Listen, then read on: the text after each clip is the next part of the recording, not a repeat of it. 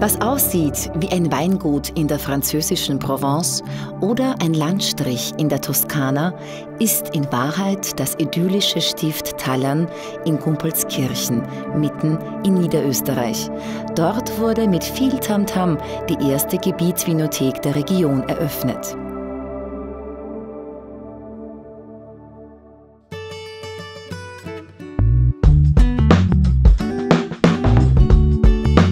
Pünktlich 10 Uhr Vormittag öffnete das Stift Tallern seine frisch renovierten Tore für knapp 3000 Besucher und die heimische Prominenz. Landeshauptmann Erwin Pröll ließ es sich nicht nehmen, gemeinsam mit dem Gumpolskirchner Bürgermeister Ferdinand Köck in einem weinlaunigen Zeremoniell ein Loblied auf die vier Pächter von Tallern zu halten. Starköche wie Heinz Hanner und Kim von Kim Kocht waren ebenso mit von der Partie wie zahlreiche Politiker und andere Prominente. Das Team um Topwinzer Erich Polz hat hier Großartiges geleistet. Das ist eine besondere Aufgabe, denn eine Gebietsvinothek hat eine große Verantwortung.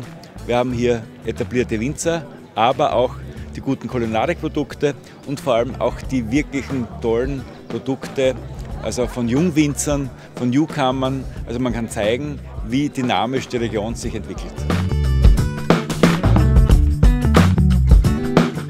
Moderatorin Barbara Karlich durfte durchs weinlaunige Programm führen und Abt Maximilian gab nicht nur seinen Segen, sondern wusste auch um eine gute Zukunft des Weingutes unter der Führung von Erich Polz.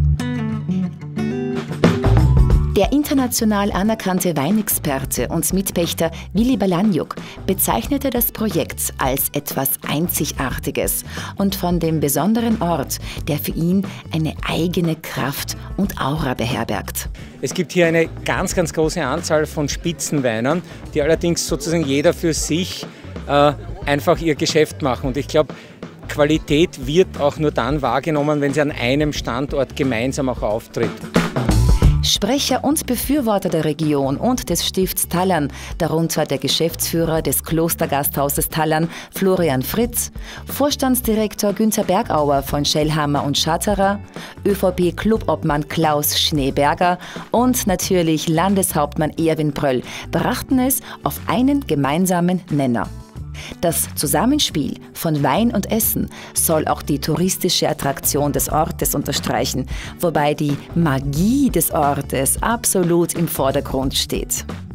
Dieser ganze Ort hat für mich etwas Mystisches. Wenn man durch diesen Viadukt durchfährt, also davor sieht man ja nichts. Man fährt diese kleine Straße entlang und dann ist dieser Torbogen, also Viadukt, da fährt man durch und man ist in einer, in einer neuen Welt.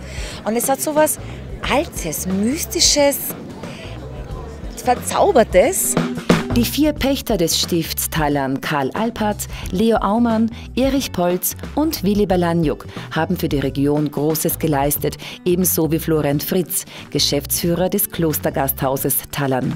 Also Barkendelstation kann und will man sich heute nicht wegdenken. Wir haben natürlich das Sortiment ein bisschen erweitert und ein bisschen was anderes gemacht, aber das Backhändel ist Thema Nummer eins und äh, wir haben hier die regionale Rebsorte Rotgipfler und ich sage immer, Rotgipfler ist der perfekte Wein zum Backhändel und nachdem wir einen guten Rotgipfler hier produzieren dürfen, dann machen wir auch kurz Backhändel dazu und das passt im Wirtshaus perfekt zusammen. Mit viel Liebe wurde das Stift hier renoviert, Raritäten und Antiquitäten aufgearbeitet, anstatt diese zu ersetzen lassen. Aus den alten Räumlichkeiten wurden Luxussuiten, Seminarräume und eine Gebietsvinothek, ohne aber den Charme der alten Gebäude zu verlieren. Landeshauptmann Pröll brachte es auf den Punkt. Der Wein ist eines der höchsten Kulturprodukte. Diese Region war bisher die einzige, die keine Gebietsvinothek hatte. Und deshalb ist das ein unglaublicher Schritt nach vorne und ein vielversprechender Schritt in die Zukunft. Tallern ist ein bodenständiges, dynamisches und zukunftsträchtiges Projekt.